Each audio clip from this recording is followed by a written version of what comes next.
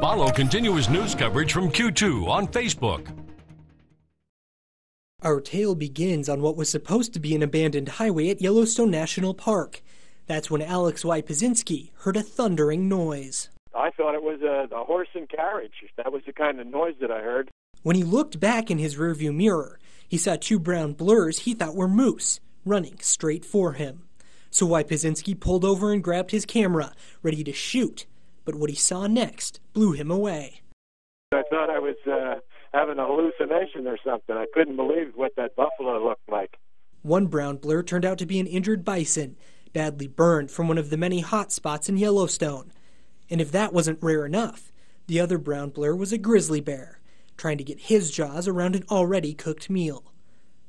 You would think Wypyszinski would get out of the way, but he stood by and snapped 14 hair raising pictures. Front of the car as long as I uh, thought it was safe. But the story doesn't end with the photos. Wypyszinski says as soon as the two beasts found themselves in the woods, the grizzly decided the hunt was not worth the effort.